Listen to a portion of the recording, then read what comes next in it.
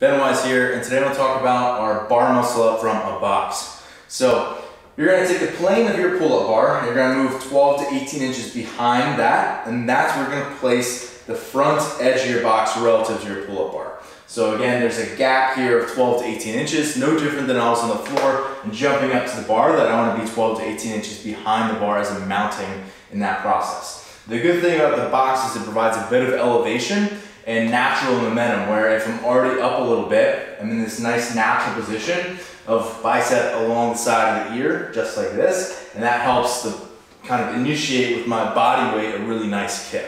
So that's, that's the main purpose of this drill here. Um, again, a few of the things that I'm going to think about is when I put my toes on the very edge of this box and I reach up, I should just be able to, with flat feet, be able to touch this bar if I really reach for it, right?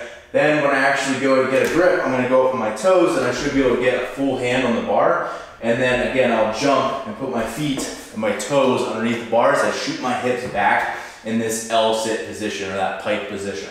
So again, then you'll hit all the steps that you normally would for your bar muscle up and transfer over the top. So um, I'll do two, single two singles here. Um, it should look like this.